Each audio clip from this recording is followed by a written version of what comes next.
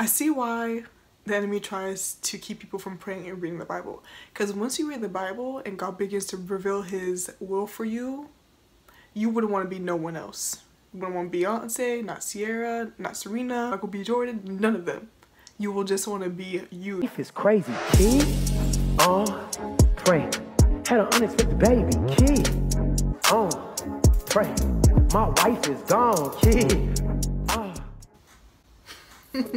Hey y'all, welcome back to my channel. It's your girl Chi, and today I'm gonna teach y'all how to pray. I'm gonna split this video into three parts. I'm gonna split this video on the importance of prayer, um, how prayer changed my life, and how to effectively pray.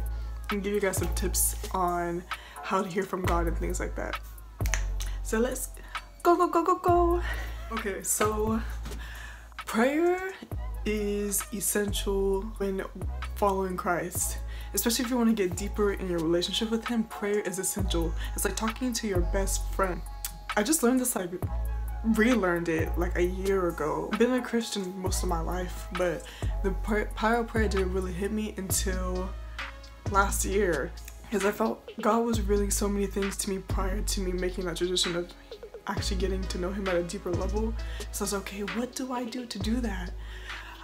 Let me just tell you right now in order to form a deeper relationship with God, you're going to have to read your Bible and you're going to have to pray.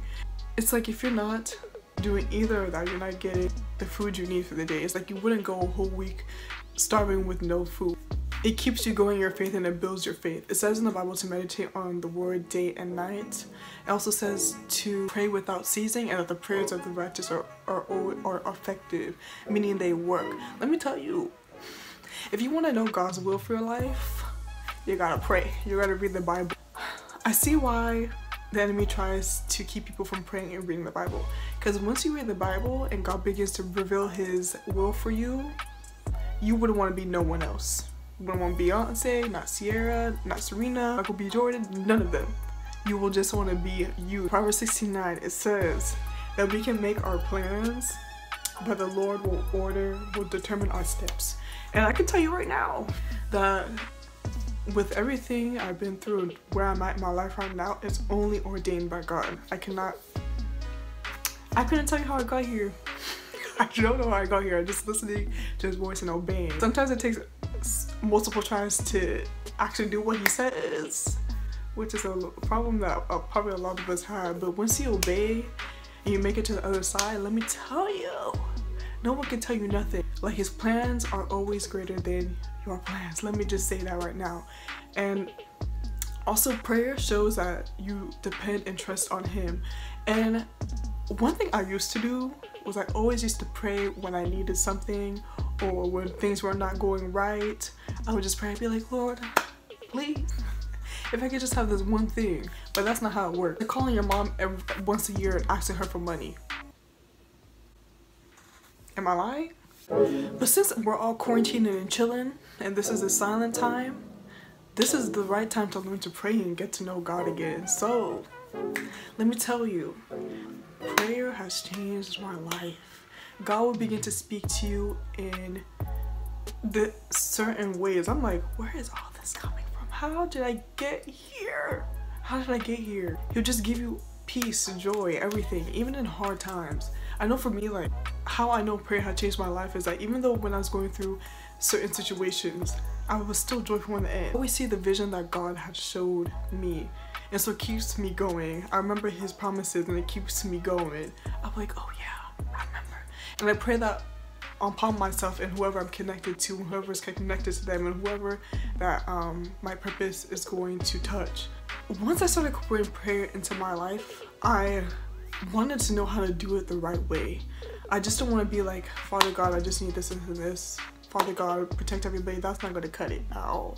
I started looking up a whole bunch of videos and reading a whole bunch of articles and watching a whole bunch of sermons on how to pray because I wanted to know how to do it and do it right because I saw just the craziest things happening. I said, what is... I know I've said this multiple times in the video already, but I was like, what is going on? God will begin to give you revelations. A revelation is a revealed truth. It's always been there, but once you begin to pray, God will give you revelation.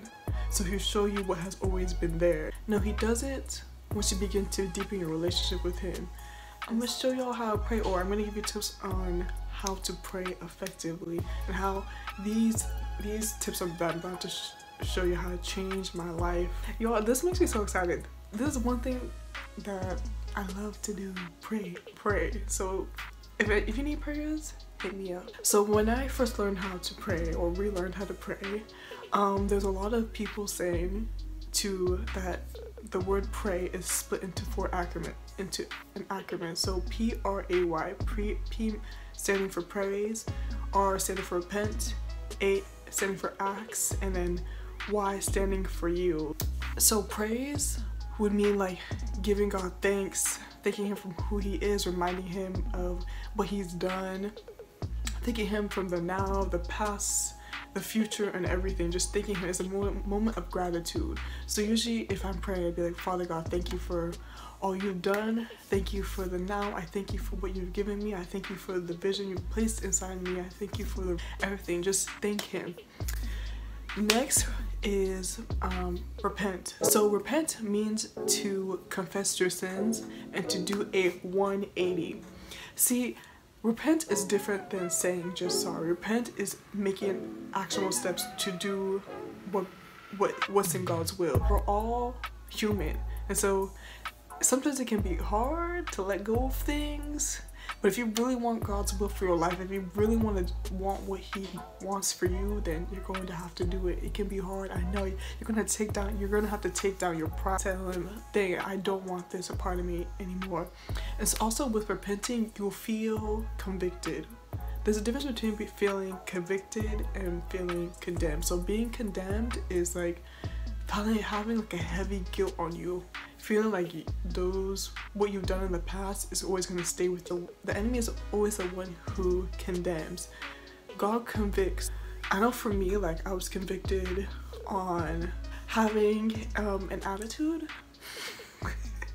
Yeah having an attitude. Um let me just say that the holy spirit was like convicting me and saying in order for you to follow me in order for me to give you the message that God has given to me, you're going to have to change this. And it's definitely a work in progress, not like an overnight thing. But the more you get to know Christ, the more He will convict you and the more you want to change.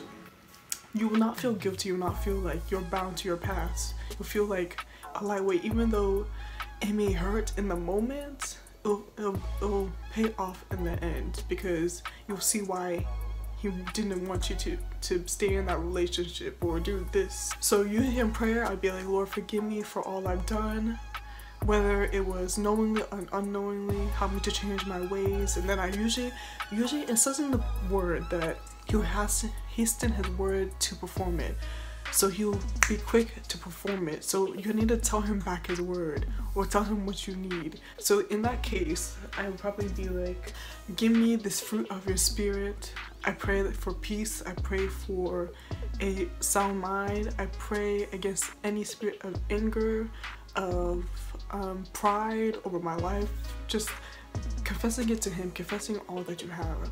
When repenting, just tell him how it is. It's just between you and him. It's not between you and everybody else. It's just you and him during that moment. So just let it all out. Just say the truth. He already knows it. Next in the pray acronym is ask. So asking him for the needs of others and the need of yourself, this need for the world, just what you need or what you want from him. I feel like sometimes it goes two ways. Sometimes you're always asking for everybody else that you forget to ask for yourself and then sometimes you're always asking for yourself that you forget to ask for everybody else. So do both. In the world we're in right now i've just been praying that god helps those in the front line that god brings healing um, for your personal life. If you need help with confidence finding purpose finding will if you need breakthrough from fear from just things that's holding you down this is the time to just ask him meaning that god will answer you he, he will listen to you and stay persistent in your prayer. It says that you need to stay, you need to be persistent in your prayers until you see what he had given to you. So I always keep praying. I keep praying, keep praying for the same things until you see it. If He promised it in His Word, His Word always remains the same. Always, always. His Word always remains the same. Don't give up. Trust me, you will see it. If He said it, it will. You'll see it, and it has to be done. And lastly, it's yield. Yield is just surrendering everything, everything to Him, and to wait to hear from Him. So having patience. So those are the acronyms for prayer. Another tip is to have a quiet place. So a place where not everyone can just come in and barge and enter, just where you can let go and let all. Another important thing is to set the atmosphere. So pray gospel music, invite the Holy Spirit in. Just set the atmosphere and get your mind right to to communicate with Him. You can communicate with Him in every, any form. You can pray. You can pray anywhere about everything. But for me, I know that in order if I want to really hear from him that I need to be silent and I need to be in a quiet place. Also, another great tip is to write down your prayers or having a prayer journal so you remind yourself of why you're doing it. You're, you're, you're able to write down what you think God is saying to you. See, God is not a loud God. He's very quiet. He's not gonna yell to the top of his lungs. And uh, what I learned on how to distinguish the voice of God, I just, I'm still learning this, but sometimes you have a thought that you never think you're not really thinking of or something just come out of nowhere. I don't know how to explain it, just as like a thought that you yourself wouldn't have. That's a, a way to put it. Or sometimes you may feel like chills or like um, a nudge um those are just some ways god does not he's not a loud god it's just those are some ways or what i've studied of how to hear from god those are just some tips use it or leave it. That's what you but yeah um lastly i wanted to recommend this book it's called it's by priscilla shirer and she talks about how to go into your prayers with a plan it's not a joke out here.